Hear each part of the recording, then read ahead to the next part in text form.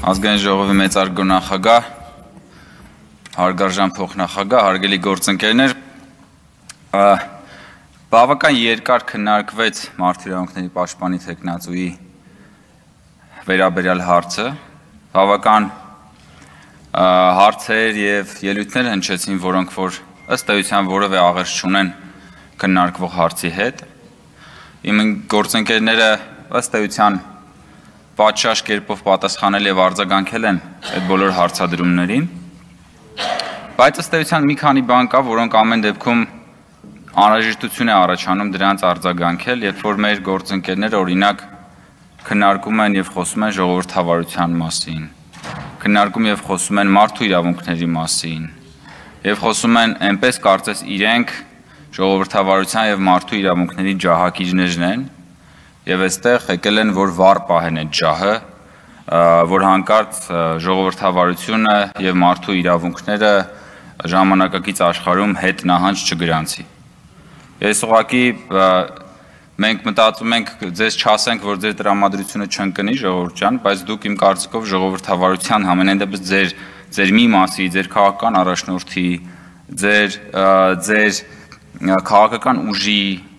կառուցած քաղաքական համակարգը դա ժողովրդավարության հականիշն է եղել։ Քաղաքական սպանություններ, ունեզրկումներ, մոնոպոլիաների եւ օլիգարխիայի վրա հիմնված պետություն, մաֆիոզ խմբավորումներ, ծեծ ու ջարդ, ընտրակեղծարարություն, մարդու իրավունքների պաշտպաններ, որոնք որ ըստ էության ձեր իշխանության տարիներին միջև վերջ չեն հասցրել իրենց ուրեմն գործունեությունը ավարտել, որոնք որ դուք ըստ էության հիմա եկել մեզ ասում եք, որ այ գիտեք, մենք հանդիսանում ենք մարդու իրավունքների պաշտպանության ջահակիջները եւ դուք մարդու իրավունքների այսպես բանը ռիսկեր եք ստեղծում մարդու իրավունքների համար։ Ժորժ ջան, իրականում մի հատ մեծ խնդիր կա, պարոն Վարդևանյան, որի մասին ես խոսել եմ նախկինում եւ հիմա էլ։ Իրականում ոչինչ մեզ չի խանգարում որ մենք որպես բանական մարդիկ իրար հետ քննարկենք մի շարք հարցեր, որտեղ նույնիսկ կարող ենք լինել իրար հետ համաձայն։ Բայց օրինակ, երբ որ պարոն Արծվիկ Մինասյանը խոսում է այստեղ հարգանքից, որի հետ ես ամբողջությամբ համաձայն եմ, Եվ դա անում է օրինակ մի քանի ելույթ այն բանից հետո, երբ իր գործընկերը օրինակ աղավաղում է падգամավորի անունը, իսկ դա շատ պախարակելի եւ կարծում եմ ոչ падգամավորին ոչ ընդհանրապես հարիր մոտեցում է, երբ որ падգամավորը մեկ այլ падգամավոր գործընկերոջը հակադարձելու համար աղավաղում է նրա անունը։ Ես կարծում եմ ընդհանրապես դուք պիտի այդ հարգանքի մասին պարոն Մինասյան նաև ձեր գործընկերոջ հետ խոսեք։ Երբ որ երբ որ երբ որ երբ որ մի մի ես որ հարցը տալիս եմ, դա չի ենթադրում, որ դուք հիմա պատասխանեք ինձ, պարոն Մինասյան։ Հիմա երբ որ դուք խոս իմ մոտ տպարությունը գիտեք, որ ձեր մոտ ոնց է տեղի ունենում խմբակցության նիստերը։ Ասենք օրինակ նիստից, այս նիստից առաջ դուք հավաքվում եք, ասում եք, լավ, ասենք Ղազինյանը, Արեքնազը եւ ելի մի երկու հոգի կգան իրանք այսպես բաներ կանեն, ինչ որ Facebook-յան մակարդակի ստատուսներով ինչ որ բաներ կխոսան, մի շատ շրիշակի մակարդակի կիչացնեն, նա այնքան կիչացնեն, որ ասենք բան էլի, այն հատակն էլ, ասենք այն հատակից էլ կիչնեն ներքև, այն որ բան կա, չէ՞, դες միտքը, ասում է, երբից թվում էր ես արդեն հատակում էի, մեկը ներքևից թակեց։ Հիմա ձեր ելույթներն են։ Հետո, հետո ասենք դու գալիս եք պարոն Մինասյան։ Եվ հետո ասում եք ես էլ վերջում կգնամ կասեմ, բայց եկեք իրար հարգենք։ Այ հետո թողնում դալիճից գնում եք։ Ահա սենց է կանում։ Սա սա սա ֆենոմենալ բան է, ժողովուրդ, ֆենոմենալ բան է, հարգելի գործընկերներ եւ սիրելի հայրենակիցներ։ Լրություն դարիչում, հարգելի գործընկերներ, լսենք Ֆանտաստիկ, ֆանտաստիկ պերֆորմանս մենք հիմա նոր տեսանք անդիմադիր մեր գործընկերների կողմից։ Երբ որ քաղաքական նեղացկոտության, ճշմարտությունը լսելու անկարողության, իրավիճակը կառավարելու ապիկարության պատճառով թողում եւ լքում են դաշտը։ Ընդ որում այդ դաշտը կարող է լինել տարբեր՝ քաղաքական դաշտը, պատերազմի դաշտը։ Եվ այդ բանը, գիտեք, այդ քաղաքական դասալքությունը ցավոք սրտի մեր քաղաքական համակարգում վերջին տասնամյակներին տեղ գտած չափազանց կարևոր մի իրողություն է եղել, երբ որ տարբեր ղեկավարներ, երբ որ տարբեր պատասխանատու պաշտոնյաներ իրենց արչև պատմական այս կամ այն ժամանակահատվածում կանգնած խնդրից խուսափելու ելքը գտել են թողնելը եւ հեռանալը։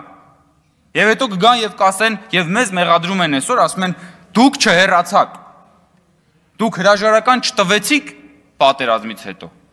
Բայց նորից մոռանում են, որ վարչապետի հրաժարականի հետևանքով է, որ իրենք հիմա այստեղ նստած են։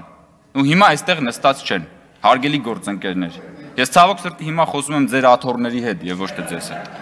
Որովհետեւ դուք հեռացել եք։ Որովհետեւ դուք այսպես լուր հեռացաք շրխկացրեցիք դուրը եւ հեռացաք, որովհետեւ դուք ձերը ասեցիք եւ գնացիք։ Եվ դա եմ ես անվանում քաղաքական ինֆանտիլություն, որովհետեւ երբ որ դու ճշմարտությունը ասում ես քո կարծիքով, դու պետք է պատրաստ լինես նաեւ լսես ճշմարտությունը։ Եվ դա խոսում է նաեւ այո հարգելի գործընկերներ,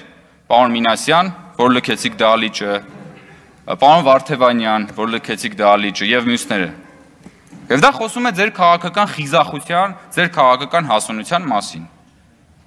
Շատ կուզեի ձեզ նայել, բայց ցավոք սրտի նայում եմ հիմա այստեղ դրված փափուկ կարմիր գույնի կահույքին։ Լավ, հա ամեն դեպքում, քանի որ մեր գործընկերները հերացան եւ ես չեմ ուզում որ մոնոլոգի վերածվի իմ ելույթը, քանի որ հիմնականում նրանց պիտի ուղված լիներ, ես պարզապես ցանկանում եմ ամփոփել եւս մեկ անգամ վերահաստատելով, որ Քրիստինե Գրիգորյանը հանդիսանում է քաղաքացիական պայմանագիր խմբակցության մարդու իրավունքների պաշտպանի տեխնացուն։ Քրիստինե Գրիգորյանը տիրապետում է թե մասնագիտական եւ թե անձնային բարձր մասնագիտական եւ բարոյական որակներով, որը հարկավոր է այս կարևորագույն առաքելության եւ պաշտոնի համար։ Քրիստինե Գրիգորյանը տիրապետում է բավականաչափ հեղինակության եւ իր կենսագրության մեջ ճունի արատավոր եւ այնպիսի պախարակելի դրվագներ, որոնց համար նա իր գլուխը կկախի եւ աչքերը եւ հայացքը կփախցնի այս կամ այն մարդուց, եւ ես կարծում եմ, որ սա մեծագույն պատիվ է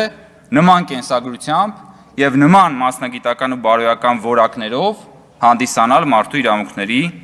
պաշտպանի տեխնացու։ Քաղաքացիական պայմանագիր խմբակցությունը միանշանակ կողմ է քվյարկելու Տիկին Գրիգորյանի տեխնացությանը եւ մենք լիահույս ու վստահ ենք Տիկին Գրիգորյան, որ դուք պատվով եւ պատասխանատվությամբ իրականացնելու եք այս չափազանց կարևոր առաքելությունը։ Շնորհակալ եմ։